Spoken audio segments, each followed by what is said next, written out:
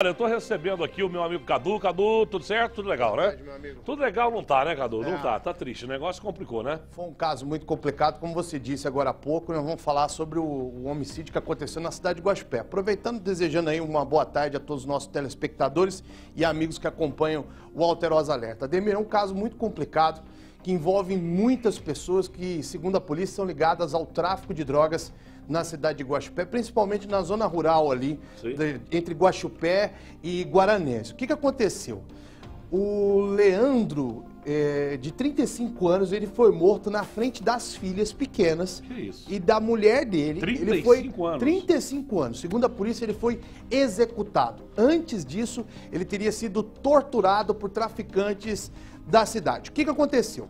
Segundo a polícia militar, e segundo informações coletadas com a mulher da vítima, o Leandro e a mulher receberam um convite de um casal já conhecido deles para eles irem almoçar na zona rural entre Guaxupé e Guaranés. Chegando lá, eles foram surpreendidos, segundo a polícia, por dois bandidos armados. Esses criminosos, de acordo com a polícia, Ademir, eles abordaram o Leandro falando que, ó, você roubou ali é, uma droga nossa, você aproveitou um momento, furtou uma droga nossa e eu- a gente está sabendo que você está vendendo essa droga aqui na zona rural. Segundo a polícia, a vítima negou o fato para esses criminosos, disse que não tinha nada a ver com o rolo, mas mesmo assim, segundo informações aí da mulher da vítima, ele foi torturado na frente das filhas e também na frente da mulher. Em determinado momento, esses bandidos viraram e falaram, segundo a polícia, nós vamos te matar. E levaram ele para uma estrada da zona rural que fica perto do presídio de Guaxupé. E lá fizeram ele ajoelhar, colocaram uma arma na cabeça dele e, segundo a polícia, as filhas e a mulher viram ele sendo executado. Olha, pessoal, isso que o Cadu tá contando aqui pra nós é o que acontece na nossa região que aconteceu. Parece filme, mas não é. Parece cena de filme. Por isso que eu falo aqui todo dia, Cadu. Aqui nós mostramos a realidade na sua televisão. Isso tudo começou. Olha, vamos almoçar. E esse convite desse almoço aí, como é que ficou isso Cadu? Então, foi esse casal. Esse casal que teria arquite... não arquitetado, mas segundo a polícia, eles têm participação com esse homicídio.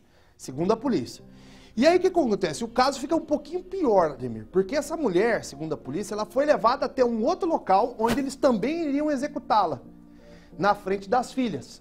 Só que, segundo a polícia, ela conseguiu, em algum momento de distração, pular desse carro e tava vindo uma caminhonete na estrada de terra, ela parou em frente à caminhonete, falou, pelo amor de Deus, me ajuda, me ajuda, e pulou na cabine dessa que, caminhonete. que é isso? Pediu socorro pro motorista, o motorista picou a mula Lógico. e acelerou a caminhonete. Só que os caras estavam com uma moto.